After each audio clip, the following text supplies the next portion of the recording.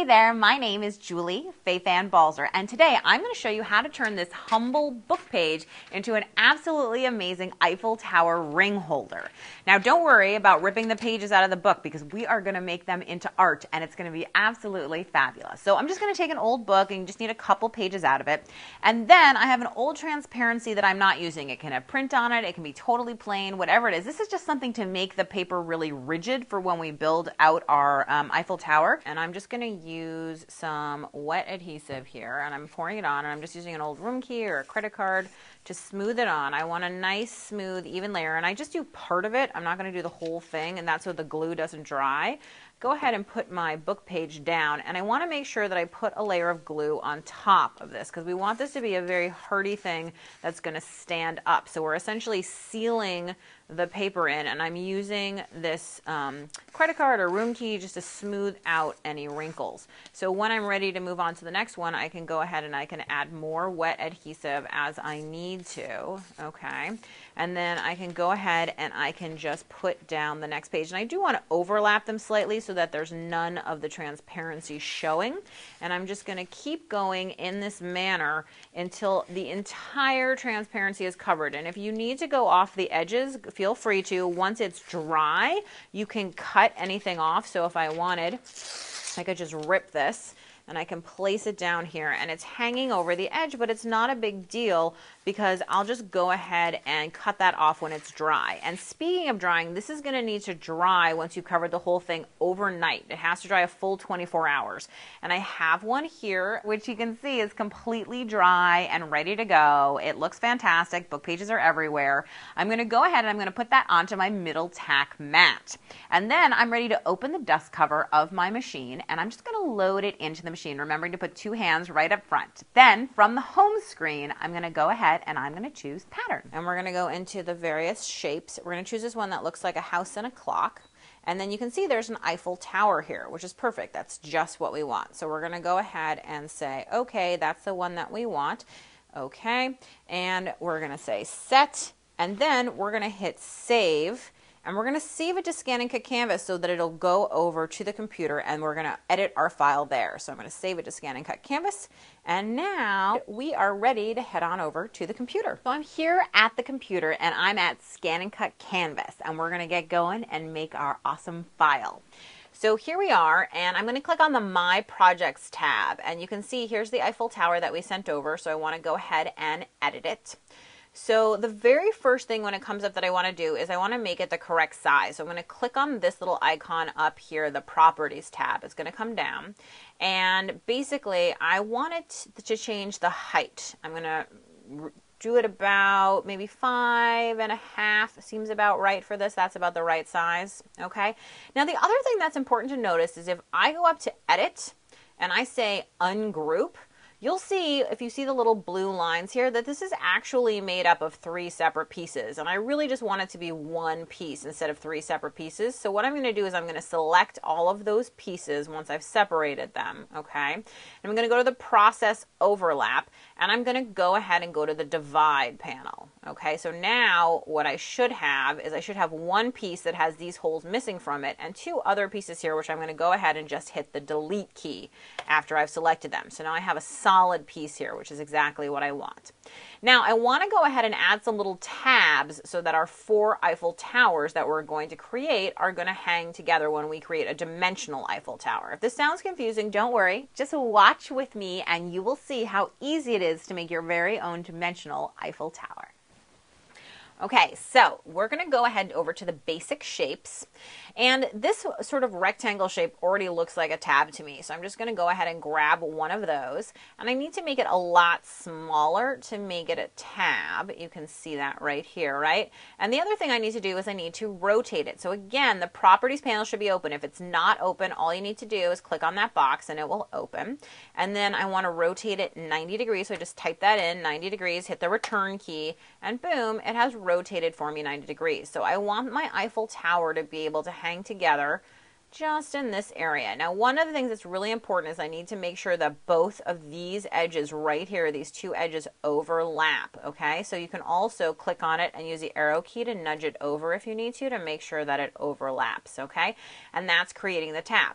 Then I want to create a second tab down at the bottom that's more of a square. So I'm going to go over to the basic shapes, grab a square, and again, just by dragging the corner, I'm going to make that a nice small square so that it doesn't overlap anything too much. I could probably make that just a skosh bigger. Maybe even a little bit taller, more like a rectangle. There you go. And then I use the arrow keys again to bump it over, making sure that at least these two sides completely touch. Okay, so once that's done, I'm going to go ahead and I'm going to select all three parts. I've made my tabs. I'm going to go over to Edit and I'm going to choose process overlap and I'm going to use the weld function. And now this is going to weld those tabs on there. So this is all now one happy piece. Okay, so there's one more step that we have to do. There's actually a couple more steps, but one more step with this one piece. I'm going to go right up here to the path tool. It looks like lines with little dots. And what I'm going to do is I'm going to click in the corner right where that tab meets in, and then I'm going to double click in the opposite corner where it ends. Click, click, and that will end the path. Then you'll see the properties panel sh should open. If it doesn't, again, just go ahead and click on it to make sure it opens. And I'm going to go to dash pattern and I'm going to choose a perforated line because I want to perforate that little edge so that the tab is going to move. And I'm going to repeat that same process with the other tab that we chose. I'm just going to click in the corner and then I'm going to double click in the opposite corner and then again, I'm going to choose a dash pattern to create a perforation line. Now what I need to do, because these are all separate pieces, you can see the three different boxes that come up. I want to go ahead up to the edit menu and I want to group them. So now this is just one blue box, it's all together. So now what I want is I want to duplicate this, okay? So up under edit, you can see right here it says duplicate. So I'm just going to go ahead and duplicate it. I want to duplicate it again. So I'm going to go edit, duplicate, and one more time because we need four pieces to make our Eiffel Tower. So now we have the four pieces. But now we need to rotate them. So one of them is going to rotate 90 degrees. No problem. That's done. Okay. One of them is going to rotate negative 90 degrees. So I'm just going to type in negative 90 and it's going to go the other way. One of them is going to rotate 180 degrees. So I'm just going to go ahead and type in 180 return and you can see it went around. So now I just need to line these up. So one goes down and one goes up. And I want to make sure they have a slight overlap at the center here. And I also want to make sure they're perfectly aligned though. So I'm going to select them both, go up to edit, and I'm going to align them. Okay, now that's bringing them slightly off center because they have the tabs on them. So instead, I'm going to go ahead and use my arrow keys and just visually see that they're overlapping and that they're lined up. And when that's good, I'm going to select them both, okay? And I'm not actually going to weld them at this point. I want to put the other ones in before I do that. So I'm going to do the same thing here, which is I'm going to bring this guy down and make sure he's aligned in there. Bring the next one down and align it in there as well, okay? So now I'm sure that they're all aligned. The problem is if I weld it now, what will happen is all these perforation lines will sort of disappear. And I'm going to show you what I mean because I'm going to be able to undo it. So I'll show you what happens. If I weld this now, uh, the perforation lines disappeared, which is not what we wanted. So let me hit Command Z or undo to undo that. So what I actually need to do is first I need to ungroup everything, okay? And I need to individually do that. So I'm going to click on each one and do edit, ungroup, Click on the next one, edit, ungroup, click on the next one. A lot of things here, once you get the workflow of ScanNCut Canvas, it makes it really easy to get done whatever it is that you need to get done. So once I have everything ungrouped, I'm to go ahead and I'm to select only the four pieces. So if I just select in the center area, I'm to get the four pieces but not the perforation lines.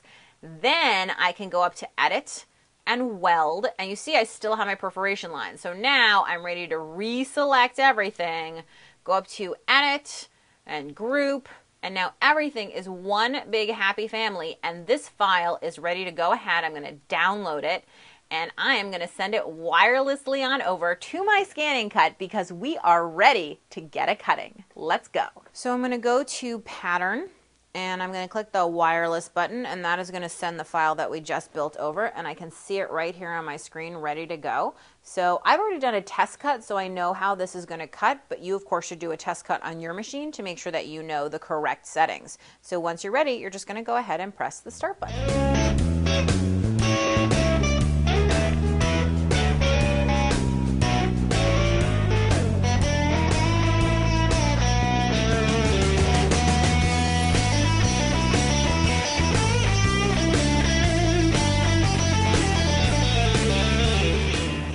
Finished cutting, I'm just going to go ahead and unload the mat and then I can peel away the excess here. Let's see, crack, crack, crack, crack, crack. And once that's done, I can go ahead and give it a pull. Um, I'm going to take my spatula tool and I'm going to go ahead and bend the mat and just get under there because I don't want to rip or tear anything here. I want to make sure that it comes off really nicely and easily. And then once this is off the mat, we are going to be ready to assemble it into our amazing Eiffel Tower ring holder. So now I'm going to do a couple folds. So you'll remember the perforation lines that we made. So I'm going to fold it on each of those little perforation lines right here like so.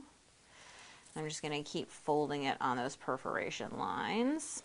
And then although we didn't create any perforation lines at the top, these pieces are so small that you should be able to fold it just at the intersections where they meet. So you create kind of a square at the top as you fold these in. And you can see that you can create each of those little bits. And now you can start to see our Eiffel Tower taking shape here, looking pretty cool. So what I need to do now is essentially I need to glue each of these tabs on. So I'm just going to use my favorite wet adhesive and I'm going to go ahead and apply a little bit to each of the tabs. And I just like to do two tabs at a time. I find it a little bit easier to manage that way. Um, but I just go ahead and fold them on so that they're sort of matching up the pieces. And it can be a little bit fussy to get this done, but you know, when you if you glue it correctly, you'll have a fabulous result every single time. So I'm just going to mush those on there. And again, with wet adhesive, you need to hold it for a couple seconds. So I'm going to do that with all four tabs. So now that my Eiffel Tower is all together and dry, I can go ahead and I can take my rings and I can just put them on and I have the cutest little ring stand for all of my little trinkets. Simple and easy. Thanks so much for watching. For more tips, tricks, and tutorials, be sure to subscribe to my YouTube channel and to visit my blog at balzerdesigns.typepad.com. And of course, don't forget about the ScanNCut website at scannandcut.com.